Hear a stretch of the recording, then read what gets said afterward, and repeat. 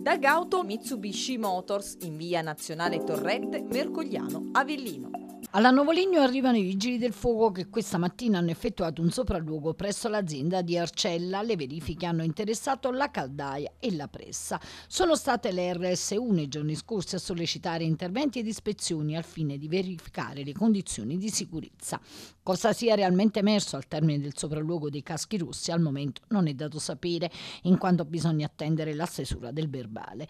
Intanto ieri pomeriggio i lavoratori hanno tenuto un'altra assemblea. Il clima resta pesante pesante e prosegue il braccio di ferro tra la holding friulana e gli operai irpini che da settimane si sentono come scaricati dal gruppo Fantoni che il 26 febbraio scorso ha comunicato licenziamenti per ben 117 persone. Negli ultimi giorni il malcontento è aumentato soprattutto in seguito alla comunicazione del direttore dello stabilimento che il 19 marzo ha annunciato la decisione di Novolegno di collocare in ferie forzate gli operai fino a data da destinarsi.